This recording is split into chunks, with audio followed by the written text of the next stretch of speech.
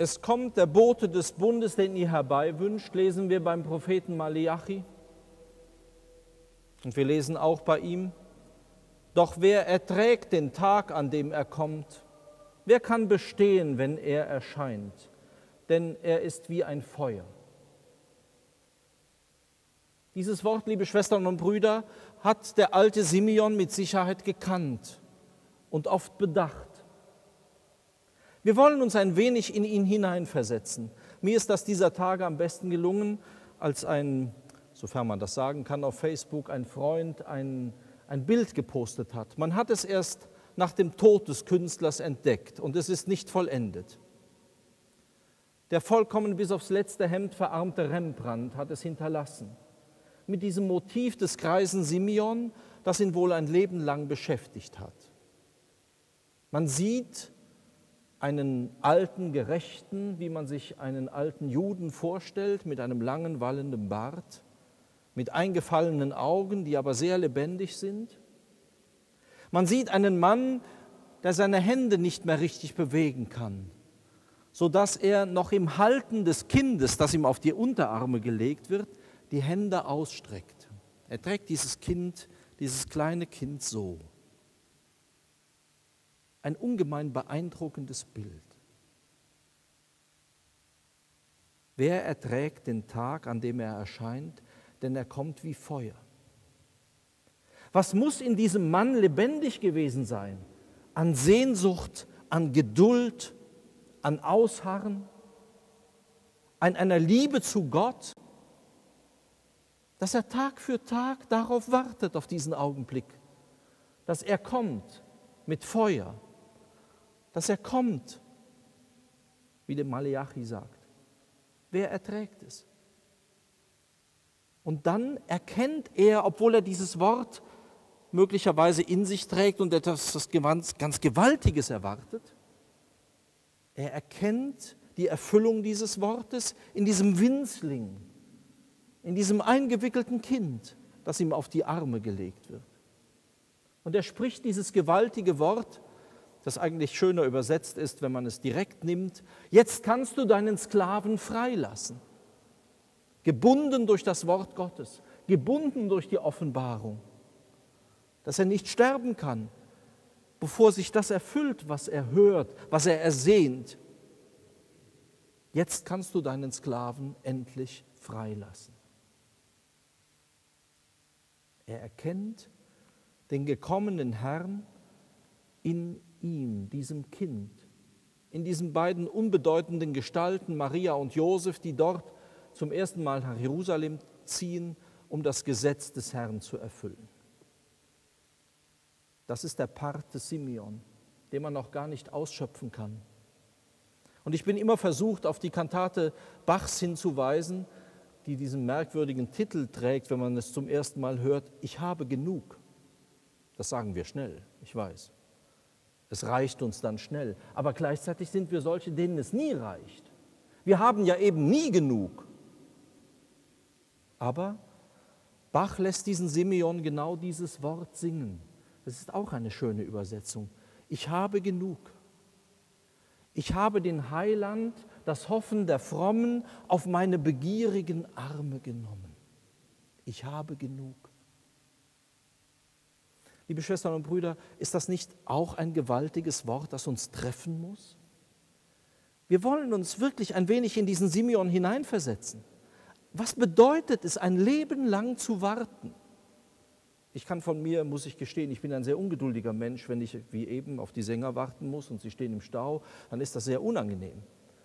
Und dann wird mir jede Minute zu lang. Aber so ist es manchmal im Leben. Aber da geht es um 20 Minuten. Hier geht es um ein ganzes Leben. Und nicht irgendein Meeting,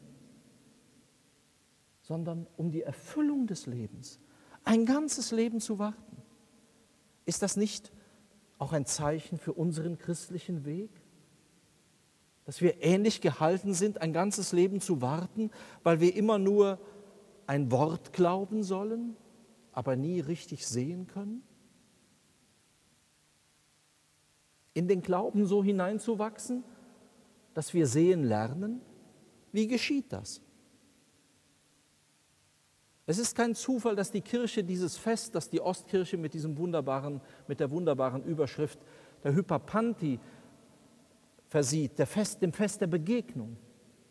Christus wird in den Tempel getragen. Er begegnet dem Bundesvolk Israel. Aber für uns bedeutet das noch mehr. Christus ist im Tempel.